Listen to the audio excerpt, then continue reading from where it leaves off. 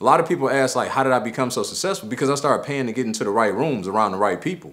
Because it's extremely difficult being on the outside looking in to go figure all this stuff out on your own. And how much time do you got to waste and lose in the process of going to do so?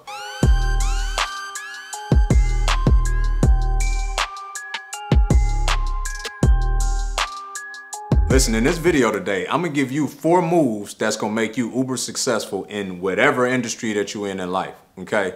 Now, I followed these obviously in real estate, which I've been doing for the last 17 years, built, you know, multiple seven figure real estate portfolio.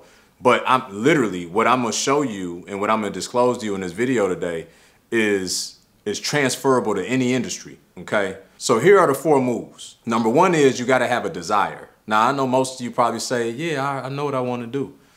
But it, it can't, it's, it's got to be a real desire because whatever that you want to go into, when you follow these four steps, it's going to require some work, it's going to require some persistence, it's going to require some perseverance. And in order to do that, it's got to be a legitimate desire. It can't be because I saw somebody go make money in trucking, I want to do trucking. I saw somebody over here as an influencer. It can't be that. It's got to be a true desire. Now, I'll take it a step further, right? I'm a man of faith. There's a scripture that said God gives us the desires of our heart. Most, most interpret that scripture as if he is saying that he just gives us the stuff that we want, right? And while there's some truth to that, the real truth is when you align yourself with God's will for your life, you petition him in prayer, you talk to him about what he's got planned and purpose for your life, then his desires for your life become your desires. Now you just just so happen to start working on the right things in the right seasons and you swimming with the current instead of against it. Secondly, after desire, you need to get education. Okay, you got to get educated because anything that you're doing that's worth doing, that you got a true desire, that you believe your purpose and your passion and your lot in life is designed for this purpose for you to do, then you need to go get educated about it. Okay, and the unfortunate part is for most of the middle class, they stop getting educated after college. When the rich and wealthy, we understand that you get you need more education post college, right? Because you need to go find avatars that are doing those things that you want to do, that's had the type of success that you like to garner, and go glean from them. Okay, and in, in, in many cases, I'm gonna be honest with you, you got to pay for it. A lot of people ask like, how did I become so successful? Because I started paying to get into the right rooms around the right people. Because it's extremely difficult being on the outside looking in to go figure all this stuff out on your own and how much time do you got to waste and lose in the process of going to do so? So number two, go get educated. Number three, and this is very important for those that are out here that are information junkies, right? You got a ton of education, but no application. So number three is become a practitioner. Faith without works is dead. So we have to take, see, knowledge isn't power, applied knowledge is power. We got to take the knowledge that we recently acquired and we got to go out and start taking action because action is the only thing that brings clarity. You're never going to figure your way out to success. You, it's your responsibility to go get all the knowledge that you need so that you can at least take your best approach to being successful. But the only thing that's going to make you successful is taking action, right? So you go acquire all the knowledge and the skill that you need, and then you, st you start to go out and put that in practice. So number three is becoming a practitioner. Number four, and this one life get really sweet.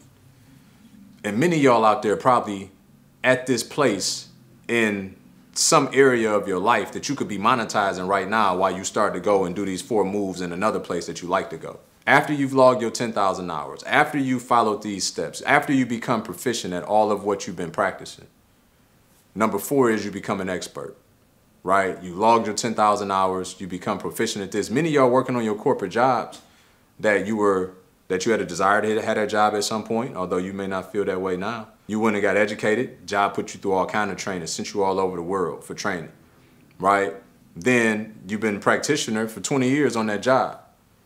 Well, you got your 10,000 hours. Well, guess what you could be?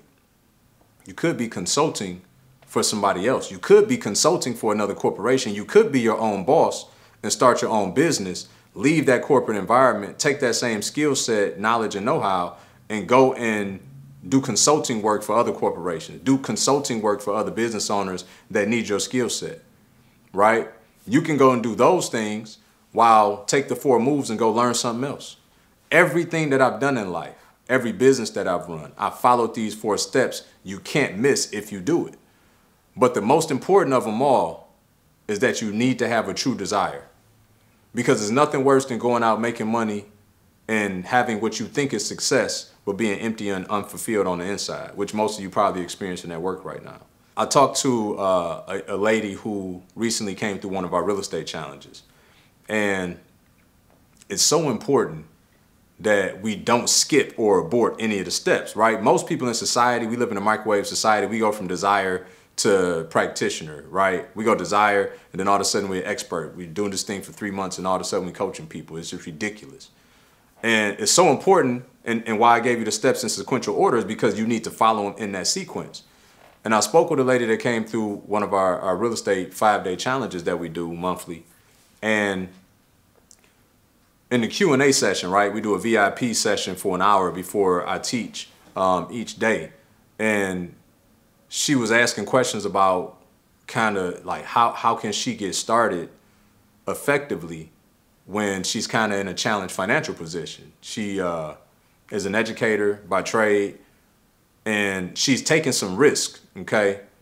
And I shared something during the five day challenge just talking about how free advice and cheap advice is very expensive, right? Myself included. Like, I, I love making these videos for you guys, but I hope that you understand that while there may be some principle that I can share, while there may be some context and some even some know-how, I can never give you all of the intricacies and the intangibles, right? Because it's a video you would need to be able to have an exchange with someone, which is why mentoring and coaching is so important.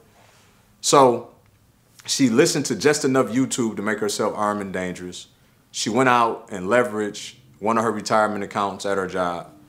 She dumped a bunch of money into marketing for a wholesale off-market program. I mean, not program, but to, to start her off-market wholesaling business. She aborted the program part.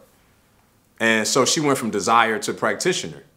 Well, she skipped the education part and she lost all that money that she goes to work for every day and works so hard to accumulate over time. While I can point to her, the saddest indictment is that that's probably 70, 80% of the people out there because they don't take the time to make the investment in the education. That's such a core fundamental in this entire process if you want to be successful. And so I just encourage you, whatever it is that you want to do, you have to go out after you have a true desire for that thing, you have to go out and find the people that have the success in whatever field that you want to go into and pay them. Because it's better to pay them and save time and expedite your success than to lose time and money, of which this lady unfortunately has done. And now she's in a position where she's finally found the help that she really needs and can't afford to figure out how to pay for it. Right? Now, the good news about her is that she's bold enough to take action. There's many people that just they let their fear cripple them from doing things that they know are requisite. And so when you got that kind of spirit and ambition, you will eventually figure it out. God will bring somebody your way that that'll bring you the thing you don't have, right? She's got the willingness, the ambitious, the, the ambitiousness, bold enough to take action, become a practitioner. Money is everywhere. She'll find somebody with money, right? Because she's on the path of seeking and looking and asking and knocking, all the things the scripture tells us to do.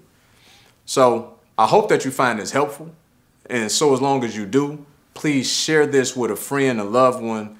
Go back and rewatch it, okay? Comment below. Let me know where you at in your process, what industry you in. I love to get to know who my subscribers are. And by the way, if you haven't subscribed, hit that subscribe button, hit the notification bell so I can bring you more content like this. Just to recap on the way out, four moves, desire, education, practitioner, expert.